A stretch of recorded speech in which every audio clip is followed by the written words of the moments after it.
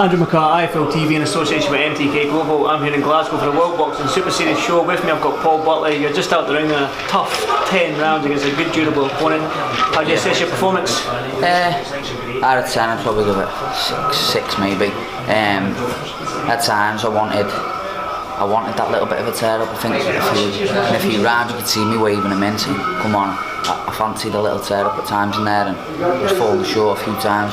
Maybe a bit of ring rust, I've been out Well, it's probably the longest I've had out the, the ring since. Back in May, wasn't it? You yeah, I, but I, I had like three months off, which is the longest I've had off since I was 10 years of age. 19 years, that, that's a long time to out the ring for me. I'm normally back in after two weeks, whether it's a win or a loss, but uh, I had a good a good rest. We've got back in and we've, we've had that 10 rounds. Well, you said that you, you were wanting to tear up, but it was you, res- you, you were a reserve for this World Yeah. Boxing Super Series, the bantamweight. But in the back of your mind, when you sort of playing it safe, hoping that you wouldn't get a nasty cut or anything like that? I know you've got your shoulders, you can see, was there a wee bit in the back of your mind trying to play it safe, don't get nasty cuts, don't do this? Didn't even cross my mind I was I was I was a reserve for the next round. Um, once you're in there, it's tunnel vision and like all week uh, I've been in my group chats with the lads and they're all looking forward to it and, and I'm like I can't wait for the scrap. You know what I mean? Like it's been that long since I've been in the, ring, so I fancied a little bit of a scrap. But, at times I felt like I, I got back to my boxing and relaxed and moved my head, and moved my head well at times. And, there was times where I just got kicked, caught with silly shots, but I knew the kid couldn't really hurt me. Even though he's got an half decent record of, of stopping people as well. Had a little bit of pop, but nothing that could could phase me. That's why I felt like I could I could walk up to him and, and do what I wanted really. only lost against top level Yeah. opponents like Carl Frampton at the beginning of the Exactly. UFC, and Inoue obviously. Yeah, Josh Um, Warrington. Josh Warrington Yeah. well, yeah, so he's, he's only lost to good and you're one of them as well, so Yeah. You can take some positives out of that, I suppose. Yeah. 100%, um, and I think it, in a way stopped him to the body. Uh, Is that what you were aiming for? I see you were throwing them straight yeah, to the body as well. yeah. Uh, we knew once we threw that, he'd throw that out. We'd seen that in previous fights. He's, he likes to throw what he gets caught with at times as well. He, he seemed to half block mine, but with his elbow. But I've been caught with them myself, and when the elbow presses in, you still feel the effects of it. So, no, we, we knew we were, we knew we were getting there. You- You've got an ice pack there on your shoulder. What exactly happened with the injury there?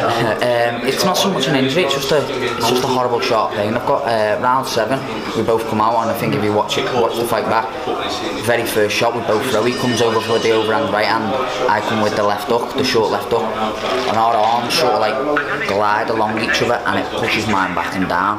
Um, and I hardly threw that shot. I couldn't get no power in the left up from then on.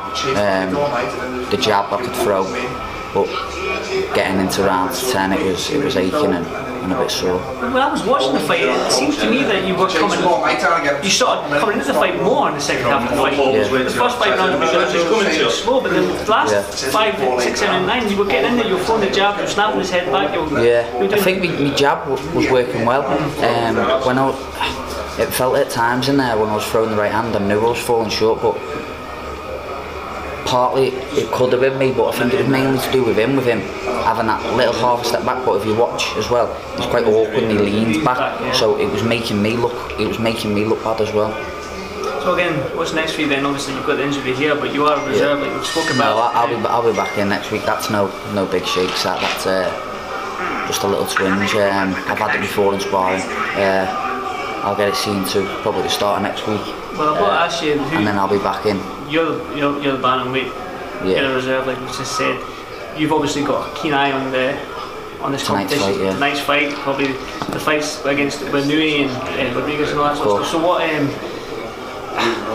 what's your what's your pick? Who, who, do you, who do you believe is the favourite going into this as the? Well, uh, the bookies don't lie, do they? Inoue's the red hot favourite, and rightly so as well. I think.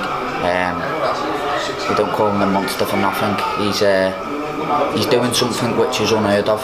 Um, he's putting people asleep, not just not just stopping them. He's putting them asleep. Very good pedigree champions. He's putting them asleep. But at flyweight, super flyweight, and bantamweight, it's unheard of, and he's doing it regular.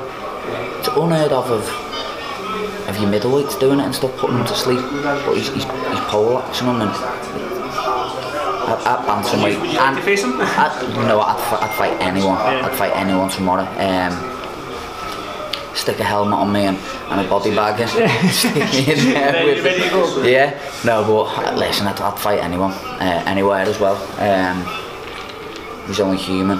but he's a, he's very very good. He's very talented as well. Um, yeah, so he's red hot favourite for me. Well, uh, last before that, you go and get your shower and all that, and enjoy the rest of the night. Uh, you seen what the World Super Series done with the cruiserweights? They brought them back for the second season. The third season comes along and they bring the bantamweights back. Are you going to Yeah. chuck your name in the hat? Hundred percent. Um, I'm doing the right thing. I'm, I'm here. I'm in the mix. I'm, I'm reserve at the moment, and I'm enjoying it. It's a great setup, and obviously our gym's been here before with Callum, who- who's here today, and uh, he's the winner of the super middle. So Yeah, it's nice Two to Ali, be back in. in the Gallagher gym. It, it'd be lovely, wouldn't it? Definitely. Yeah. Well, well, thanks for this, Fifield TV, and I'll no doubt I'll catch up with you soon. Cheers, thanks very much, mate. Cheers.